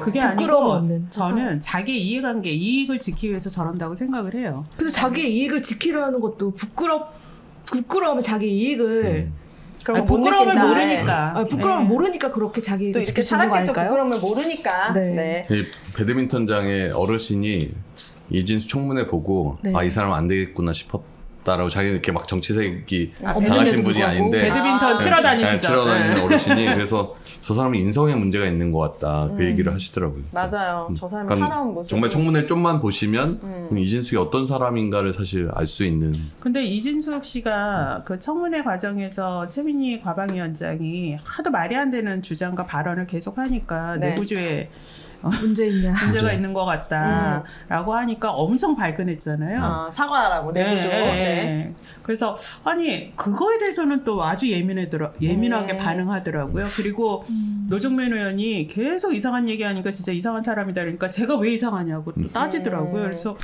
아니 이상한 사람한테 이상하다라는데 그렇게 따지는 사람은 또 처음 봤어요. 네. 어려운 용어를 쓰면 가만히 있고 좀 쉬운 용어를 쓰면은 화를 내는 게 아닐까요? 내 구조 이상하다 뭐 이런 거. 너무 아무튼 안타까운 현실이고 전쟁은 선포가 되었습니다. 여기 계시는 분들이 정말 전력을 다해서 싸워주시고 그래야지 음, 많은 시청자분들과 국민들이 응원해 주실 것 같아요. 아주 짧게 봤지만 바람이 불기도 전에 눕지 말아라. 그 언론인들의 희생을 좀 감수해야 될 것 같다. 그래야지 어, 국민들께서도 더 지지하고 계속 성원을 보내주실 것 같다는 글을 봤는데 어쩔 수 없습니다. 여기까지 온 마당에 반드시 싸워서 이기고 이런 사람들은 영원히 퇴출시켜야죠. 미래 세대를 위해서라도. 저는 국민들이 저거 보면서 이런 생각할 것 같아요. 그냥 막 살아야 되겠다는 생각을 할 것 같아요. 오히려. 네? 막 살아요? 막 음. 살아야 되겠다. 왜 나는 이렇게 양심적으로 살지라는 생각을 하게 하는 굉장히 너무 아, 안 좋은 장면이었던 뭐 것 같아요. 법을 어기든 뭘 네. 하든 저런 사람들이 높은 자리 가고 어, 네. 출세하고 이런 거를 보니 그러니까 이게 민주주의 가치 자체를 저런 사람이 훼손하거든요. 저희 노조도 법인카드가 있거든요. 근데 네. 그거 하나 쓰는 것도 되게 눈치 보면서 쓰는데 와저 저분 보면서 정말 그래서 와, 네. 이진숙 씨는 지금 사회적 흉기라고 저희가 얘기를 하는데요. 음, 네. 본인이 처음 그 방통위원장 지명되고 나서 공영방송이 사회적 흉기다 이렇게 적반하장으로 얘기를 했던 사람이거든요. 네. 사실 본인이 지금 사회적 흉기예요. 네. 특히 그 MBC 지금 여론조사하면 더 안 좋게 나올 텐데 그때 그 여론조사 꽃인가 거기서 여론조사 했을 때 57.8%인가 하여튼 60% 가까운 사람들이 부적격이다. 음. 그리고 적격이다고 얘기했던 사람이 27. 몇 프로밖에 30%도 안 됐거든요. 딱 대통령 지지율. 그렇죠. 그러니까 청문회 과정 사, 사흘 동안 하면서 국민들이 다 인식을 했을 거란 말이에요. 그걸 대통령도 알 거 아니에요. 도대체 청문회 때 뭘 보고 들은 건지 딱 재, 청문회에서 불채택하겠다고 하니까 응? 딱 하루만 재정부 요청하고 하루 지나니까 바로 그냥 아침에 응? 기습적으로 임명해 버리고 아직 박문진 이사진 선임 절차도 선임 기- 시간도 많이 남아서 조금 뭔가 노력하는 모양새라도 보일 수 있거든요. 만약에 정권에서 이 이진숙에 대한 반대 여론을 좀 인식을 하면 네. 회의도 약간 뭐 1차, 2차 나눠서 할 수도 있어요. 근데 그걸 안 하잖아요. 그러니까 네. 정말 이 국민 여론, 국민 정말 안중에 없구나 이 안중에 정권은. 없고 아. 그다음에 MBC 장악을 위해서 이렇게 폭주하는 건데 그러니까 MBC가 현재 지금 KBS도 장악을 했죠. 또 YTN은 지금 어, 유진것을 통해 가지고 저 외주 장악을 했죠. 장악. 유진 기업. 유진 네. 기업. 예, 네. 유진 기업 통해서. 네. 근데 지금 유- 공영방송 중에 유일하게 지금 보도를 국민들이 보기에 제대로 보도하는 유일한 네. 방송사잖아요. MBC. 예, 그러니까 윤석열 대통령과 윤석열 정부에 대한 비판적인 보도하는 거를 그걸 하루도 그걸 못 보겠다, 못 참겠다. 그 MBC 그거 같아요. 사장 교체하기 위해서 방통위에 남은 의결은 이제 없는 거죠. 그쵸 이제 박문진 인사 아니 오늘 아까 발표된 게 맞다고 하면 이제 박문진 의견은 끝난 거고 이 이사진들이 MBC에 이제 8월 13일부터 와서 사장 해임 절차 자기들끼리 진행하면 되는 거예요. 이제 방통위는 이진숙의 MBC 장악을 위한 미션 중에 가장 중요한 미션은 지금 끝난 거죠. 탄핵에 실익이 없겠는데 그러면 음. 어, 참. 그러니까 이제 버티겠다고 하는 건데 그럼 전 버티겠다고 하는 것도 좀 황당한 게 그럼 이때까지 왜 사퇴를 한 건지 이때까지도 탄핵 되게 부당하다고 하면서 사퇴를 했잖아요. 그러니까 이 사람들 목적은 오로지 MBC 그럼요. 그럼요. 장악하기 네. 위해서 이 박문진 이사진 임명할 의결하려고 그 목적 딱 하나밖에 없구나. MBC 구성원들의 어, 각오와 다짐도 궁금합니다. KBS. 아, KBS도 마찬가지고 이제 MBC부터 말씀해 주시죠. 하여튼 이런 게 정말 적폐가 다시 또 반복되는구나. 2017년 12월에 저희가 이걸 다 극복하고 해직자들도 다 복귀시키고 해서 이제 새로운 MBC를 7년여의 시간을 거쳐서 다시 만들어 놨는데 이게 지금 다시 음, 이명박 박근혜 정권 오히려 보면 전두환 시절로 돌아갈 수도 있는 위기잖아요. 내부적으로 상당히 분노가 크고 그래서 어쨌든 국민들의 신뢰도도 상당히 올라가고 국민들도 많이 기대해 주시는 것도 있어서 내부 구성원들 열심히 싸울 겁니다. 그래서 싸우고 MBC 지킬 수 있도록 그래서 계속 얘기하지만 MBC 장악하면 이 정권이 독이 될 거고 윤석열 정권이 정말 몰락의 늪으로 빠질 거다 저는 그렇게 생각해요. 그렇게 만들 수 있도록 그렇게 만들어야 이 사람이 더 이상 이제 늪에서 나오려고 멈출 것 같아요. 유주 본부장이 되게 정말 열심히 하시거든요. 며칠 동안 제 단톡방에 계속 올려가지고 좀 짜증이 날 정도로 엄청 열심히 어디 막 홍길동처럼 여기저기 있고 저기 다니는데 되게 힘들 것 같아서 몸 관리를 네. 좀잘 하시라고 말씀드리고 싶고 꼭, 꼭. 네. 정말 MBC가 지켜져야지 네. 된다는 생각이 들어요. 언제까지죠? 그 내년 3월이요. 아, 지금 멀었으니까. 많이 남았어요. 네, 열심히. 아 우리 이사무 만들어야겠다. 이우찬의 사랑하는. 아, 그거는 혼자 만드시고 저희는 가까이서 응원하도록 우리 KBS도 어, 궁금합니다. 그 아까 금띠 때는 얘기를 못했는데 저희도 오늘 어, 단체 협약 교섭 결렬을 선언했습니다. 그래서 어, 오늘 오후 저녁 늦게 이제 노무사 통해서 노동위원회 조정 신청을 넣었고 뭐한 달 정도 지나면 이제 쟁의권을 얻을 수 있을 것 같고 그러면은 이제 쟁의행위 찬반 투표를 통해서 파업을 들어가기 위한 준비를 어, 네. 할수 있을 것 같아요. 그래서 이제 MBC 같은 경우에는 멀쩡히 있는 사장을 지금 음. 바꾸려는 거고 저희는 어쨌든 사장이 보궐임기가 이제 연말이라서 각 이제 9월 말 10월 초 정도가 되면은 이제 또 사장 새로 선임 절차에 들어가는데 네. 이 과정에서 일단은 지금 사장은 박민? 네, 더 이상 해서는 안 된다. 그리고 그나마 뭐 이사들은 지금 어떻게 이렇게 됐지만은 그래도 국민들을 무서워할 줄 알고 어 국민들에게 공영방송이 어떤 존재인지는 아는 그런 사장이 올 수 있게끔 저희들 또 열심히 싸우겠습니다. 네, 저도 응원하도록 좀. 보태자면 네. 저희도 지금 파워권 획득을 눈앞에 두고 있어요. 왜냐면 조정 신청을 했고 1, 2차가 끝났지만 3차가 남아 있, 거든요 3차까지 결렬되면 저희도 파워권을 확보할 거고 네. 아마 과반수 이상에서 파업으로 되지 않을까라고 생각이 되는데 그럼 시점이 비슷할 것 같아서 같이 으쌰으쌰하면서 음. 네, 뭉쳐야 삽니다. 네, 네. 파업을. YTN은 어떻습니까? 네, 뭐 저희는 내부에서 공정방송 투쟁 계속 하고 있고요. 특히 그 노동조합 조합원들 위주로 흐트러지지 않도록 잘 다독이면서 하여튼 지금은 YTN 같은 경우는 내부에서 잘 버티는 게 가장 중요한 거라고 다들 생각하고 있어요. 음, 네, 좋습니다. 많은 분들이 응원하고 있습니다. 큼티 분들. 자, 오늘의 한마디는 MBC 본부 대전지부 성명을 마지막으로 인사드리도록 하겠습니다. 그 시절은 악몽이었다. 대전 MBC 역사상 최악의 사장이었다. 그는 노동조합에 대한 무차별적 혐오로 징계자를 양산했다. 그는 공영방송을 중동 뉴스와 개인 홍보, 지인과의 친분 과시 등으로 철저하게 사유화했다. 그는 지역의 주요 이슈를 배제하고 제작 자율성을 무자비하게 침해했다. 그는 부역자를 공고히 하기 위해 노사 간의 단체 협약을 휴지 조각처럼 무시했다. 그는 공적 목적으로 부여한 법인카드를 마치 용돈처럼 쓰고 다녔다. 그는 구성원의 94%가 사장 자리에서 물러나기를 원했다. 그는 단언컨대 60년 대전 MBC 역사상 최악의 사장이었다. 자, 많은 분들이 응원해 주실 거라고 믿습니다. 자, 지금부터 전쟁은 선포되었습니다. 어, 우리 언론아싸도 끝까지 싸워보도록 하겠습니다. 시민이 언론의 인싸가 되는 그날까지 언론 언론 아싸! 감사합니다. 감사합니다. 감사합니다.